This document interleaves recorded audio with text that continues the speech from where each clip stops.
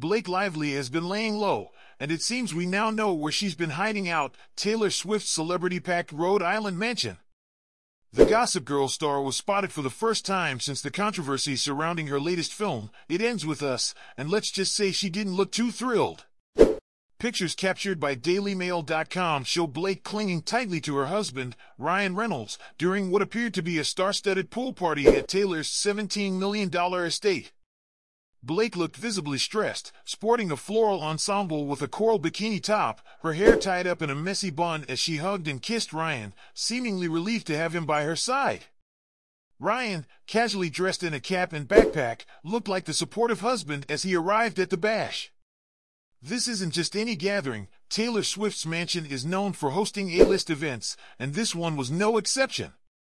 The guest list boasted big names like Gigi Hadid, Bradley Cooper, and Patrick Mahomes, along with their families.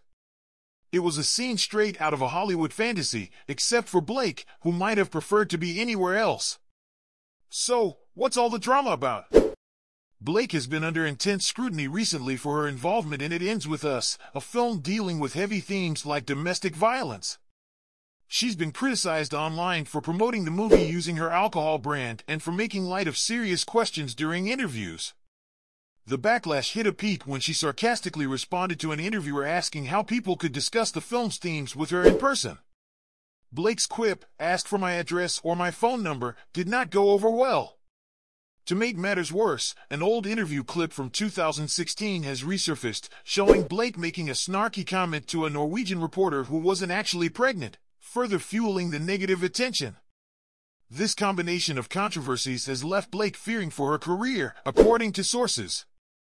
Amid all this, it's no wonder Blake has sought refuge with her bestie Taylor Swift.